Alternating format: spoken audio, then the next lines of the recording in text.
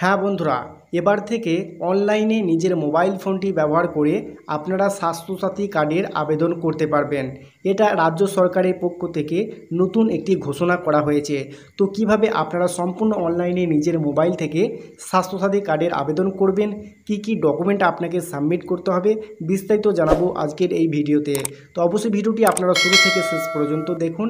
আর video শুরু করার আগে আপনাদের কাছে ছোট্ট অনুরোধ, ভিডিওটি কিন্তু কেউ আপনারা স্কিপ করে দেখবেন না। স্কিপ করে দেখলে কিন্তু আপনারা সঠিকভাবে নতুন স্বাস্থ্যসাথী কার্ডের আবেদন করতে পারবেন না। তাহলে চলুন বেশি কথা না বাড়িয়ে আজকের এই ভিডিও শুরু করি।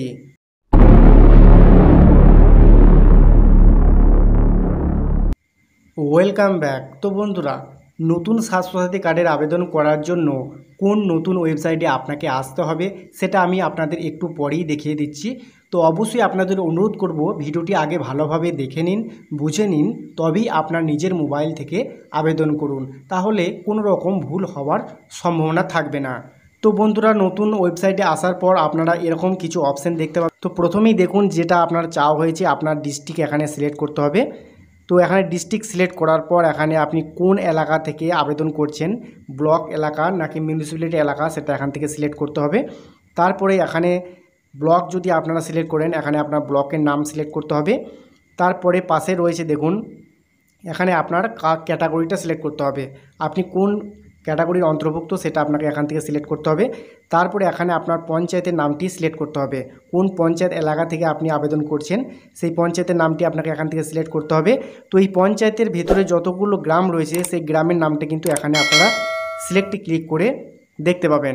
তো সেই গ্রামের নামটি আপনারা এখানে সিলেক্ট করবেন। তারপরে বন্ধুরা দেখুন, একটু নিচের দিয়ে যদি আপনারা আসেন, এখানে দেখুন আরও একটি নতুন অপশান রয়েছে। তো এখানে অবশ্যই মনে রাখবেন, এখানে আপনার ফুল অ্যাড্রেসটা কিন্তু দিতে হবে। ফুল অ্যাড্রেসটি দেওয়ার পর পাশে রয়েছে এখানে দেখুন নেম অফ দ্য অ্যাপ্লিক্যান্ট মানে এখানে সাধারণত মহিলার নামটা দেওয়াই ভালো। কারণ এখানে ফুল নেমটা আপনি যার জন্য আপনাদের আবেদন করতে চাইছেন, তার ফুল নামটি, সেই মহিলার ফুল নামটি এখানে লিখবেন এবং তার স্বামী কিংবা বাবার নামটি এই জায়গায় লিখে দেবেন। তারপরেই দেখুন এখানে আপনার পিনকোড এখানে পিনকোড দিয়ে আপনাকে সঠিকভাবে এন্ট্রি করতে হবে। তারপরে বন্ধুরা দেখুন আরও কিছু অপশান রয়েছে এখানে যেগুলো আপনাদের ফ্লাপ না করলেও হবে। এখানে যদি সরকারি কর্মচারী হয়ে থাকেন তো অবশ্যই এখানে আপনার অফিস নেম এবং অ্যাড্রেসটি লিখতে হবে। যদিও এগুলো অপশনাল রয়েছে এগুলোই ফ্লাপ না করলেও কিন্তু হবে। তারপরে বন্ধু এখানে দেখুন তিনটে অপশান রয়েছে ভালো করে লক্ষ্য করুন। এখানে এই তিনটে অপশান নিয়ে আপনার সাধারণত যারা সরকারি কর্মচারী তাদের জন্য। যারা সরকারি কর্মচারী হবেন, তারা কিন্তু এখানে ইয়েস করবেন, আর যারা সরকারি কর্মচারী নন, তারা কিন্তু এগুলো নই রাখবেন। ওকে?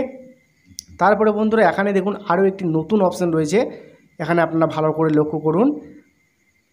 Member of the family. তো এখানে অবশ্যই আপনার যে বাড়ি সে বাড়িতে মেম্বারগুলো যদি শুধু ফিমেল হয়, তাহলে এখানে ফিমেল সিলেক্ট করতে হবে। যদি মেল হয়, তাহলে মেল সিলেক্ট করতে হবে। এবং মেল ফিমেল দুটোই যদি থাকে, তো অবশ্যই আপনার এখানে বোথ মেল অ্যান্ড ফিমেল সিলেক্টই রাখবেন। ওকে ক্লিয়ার বিষয়টা আপনাদের কাছে। তারপরে বন্ধু একটু নিচের দিকে যদি আপনারা আসেন, তাহলে এখানে দেখুন মেম্বার লিস্ট এখানে আপনার বাড়িতে কতগুলি মেম্বার রয়েছে? বা কাকে কাকে আপনি স্বাস্থ্যসাথী কার্ডের আন্ডারে রাখতে চাইছেন? তাদের নামগুলো কিন্তু আপনাকে এখানে সঠিকভাবে এন্ট্রি করতে হবে।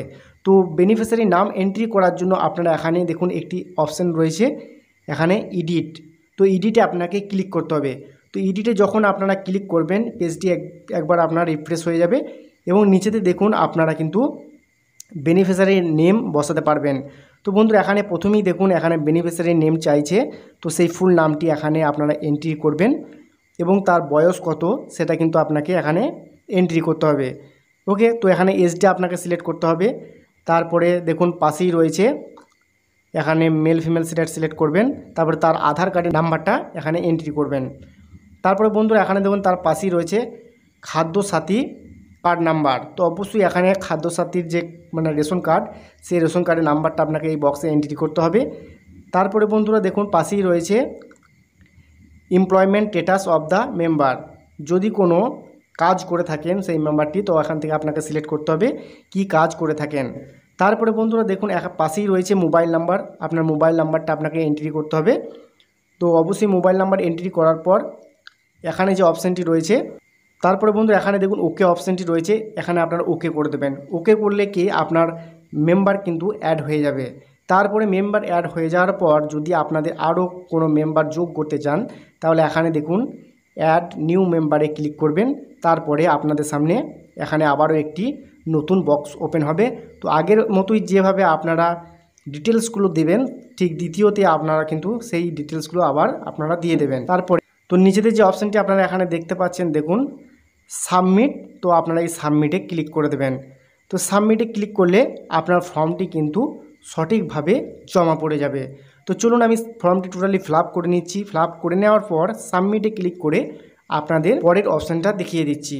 তো সাবমিটে ক্লিক করার পর আপনারা দেখতে পাবেন data is submitted successfully please your registration number তো আপনাকে যে নাম্বারটি এখানে দেওয়া হয়েছে, এই নাম্বারটি আপনারা খাতায় নোট করে রাখবেন, পরবর্তীতে স্টেটাস চেক করতে পারেন তো বন্ধুরা, আবেদনের পর আপনারা যদি চান যে আবেদনের স্টেটাসটি চেক করবেন, তাহলে আবারও আপনারা স্বাস্থ্যসাথী ডট জিওভি ডট ইনে আপনারা ভিজিট করবেন।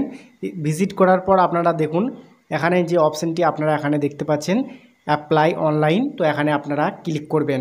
তো অ্যাপ্লাই অনলাইনে যখন ক্লিক করবেন, দেখুন অনলাইন অ্যাপ্লিকেশন প্রথমেই রয়েছে অ্যাপ্লিকেশন স্টেটাস তো এখানে আপনারা ক্লিক করলেই আপনাদের সামনে কিন্তু নতুন অপশান চলে আসবে। তো নতুন অপশানে দেখুন, এখানে আপনার ডিস্ট্রিক্টটি সিলেক্ট করতে হবে, যে ডিস্ট্রিক্টটি থেকে আপনি আবেদন করেছেন। তো এখানে আপনার ডিস্ট্রিক্ট সিলেক্ট করে নেওয়ার পর, এখানে আমার ডিস্ট্রিক্ট সিলেক্ট করলাম, তারপরে রেজিস্ট্রেশন নাম্বার তো বন্ধুরা, এখানে যেটা বলা হয়েছে রেজিস্ট্রেশন নাম্বার মানে যে আবেদনের সময় যে আপনি রেজিস্ট্রেশন নাম্বারটি পেয়েছিলেন, সেই রেজিস্ট্রেশন নাম্বারটি কিন্তু আপনাকে এই বক্সে এন্ট্রি করতে হবে। তো অবশ্যই এই বক্সে এন্ট্রি করার কমপ্লিট হয়ে গেলে আপনারা নিচেতে যে অপশানটি পাচ্ছেন সাবমিট সাবমিটে ক্লিক করলে আপনার রেজাল্ট শো হয়ে যাবে। তো বন্ধুরা, এরপর আমি আপনাদের দেখাবো যে কোন নতুন ওয়েবসাইটে এসে আপনারা নতুন স্বাস্থ্যসাথী কার্ডের জন্য আবেদন করতে পারবেন। তো বন্ধুরা অনলাইনে স্বাস্থ্যসাথী কার্ডের আবেদন করার জন্য যে কোনো একটি ব্রাউজার ওপেন করবেন। ব্রাউজার ওপেন করার পর সার্চ বক্সে জাস্ট আপনারা লিখবেন Swasthyasathi dot gov dot in তো চলুন এই ওয়েবসাইটে আমি ভিজিট করছি Swasthyasathi dot gov dot in তো এই ওয়েবসাইটে আপনারাও ভিজিট করবেন। তো বন্ধুরা এই ওয়েবসাইটে আসার পর বাম দিকে যে মেনু বার রয়েছে এই মেনু বারে আপনারা ক্লিক করবেন। তো এই থ্রি লাইন কিংবা মেনু বারে যখন আপনারা ক্লিক করবেন আপনাদের সামনে এরকম কিছু অপশান চলে আসবে। তো এখানে আপনারা যে অপশানটি দেখতে পাচ্ছেন অ্যাপ্লাই অনলাইন তো এখানে আপনাকে ক্লিক করতে হবে। নতুন করে স্বাস্থ্যসাথী কার্ডের আবেদন করার জন্য। তো অ্যাপ্লাই অনলাইনে ক্লিক করার পর আপনারা এখানে অনেকগুলি অপশান পাবেন। তো প্রথমেই যে অপশানটি রয়েছে, এখানে আপনারা ভালো করে লক্ষ্য করুন। এখানে যে অপশানটি রয়েছে online application for Swasthyasathi card তো এখানে আপনাকে ক্লিক করতে হবে। তো এখানে ক্লিক করলেই আপনাদের সামনে চলে আসবে নতুন একটি অপশান তো বন্ধুরা এখানে দেখুন, আপনাকে অবশ্যই আপনার মোবাইল নাম্বারটি এখানে এন্ট্রি করতে হবে। এখানে আপনার ভ্যালিড একটি মোবাইল নাম্বার এন্ট্রি করবেন, সেই মোবাইল নাম্বারে কিন্তু ওটিপি সেন্ড হবে। তো ওটিপি যেটা আপনার মোবাইলে যাবে, সেটা এখানে আপনাকে বসাতে হবে। বসানোর পর জাস্ট কি করবেন, এখানে যে অপশানটি রয়েছে গেট ওটিপি গেট ওটিপিতে ক্লিক করলেই আপনাদের মোবাইলে ওটিপি চলে যাবে। তো সেই ওটিপিটা দেখে দেখে আপনাকে বসিয়ে নিতে হবে এই ফাঁকা বক্সে তারপরে আপনাকে এখানে সাবমিট করতে হবে। তারপরে আপনাদের সামনে চলে আসবে সেই ফর্মটি তো এই ফর্মটি সঠিকভাবে আপনারা ফিল করবেন। ফিল করার পর সাবমিট করে দিলে আপনাদের স্বাস্থ্যসাথী কার্ড হয়ে যাবে। তো বন্ধুরা, আশা করছি ভিডিওটি আপনাদের ভালো লেগেছে। আজকের মতো ভিডিও এখানে শেষ করছি। ধন্যবাদ।